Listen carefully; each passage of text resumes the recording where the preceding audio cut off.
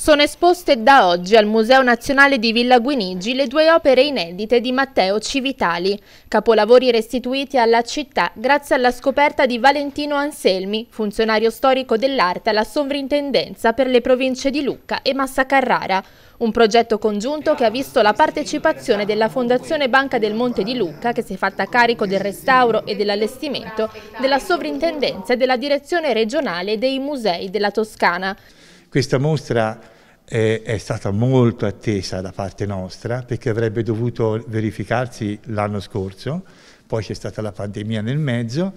e quindi è slittata diverse volte, oggi si apre. Ecco,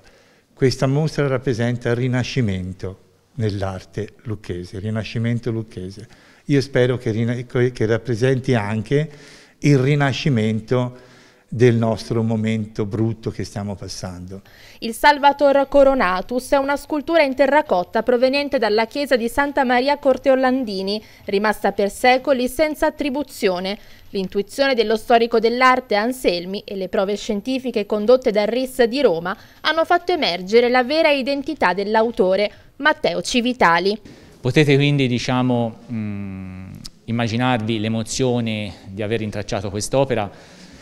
io immediatamente eh, incominciai a fare anche ricerche archivistiche eh, che dettero i, i, suoi frutti, perché eh, presso l'archivio eh,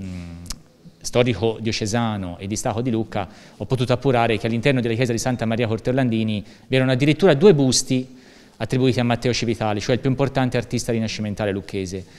Eh, un, un Cristo coronato di spine e una Vergine, una cosiddetta Mater Dolorosa, che purtroppo non è stato possibile rintracciare. Però diciamo l'importante e la rilevanza dell'attività di tutela della soprintendenza nel territorio è stata proprio quella di rintracciare questo Salvator Coronatus, il Salvator Coronatus che vedete qui accanto a me, eh, per il quale subito, ci siamo subito attivati per restaurarlo. Ma un'altra opera viene accolta in questa mostra in programma fino a maggio 2022 una Madonna con bambino proveniente da Colle di Compito. A distanza di qualche mese dal primo sopralluogo, infatti, Anselmi ha avuto modo di riscontrare che anche un inedito rilievo in terracotta policroma con una Madonna col bambino, proveniente da un'edicola votiva della frazione di Capannori, era stato fatto dalla stessa mano, quella di Matteo Civitali,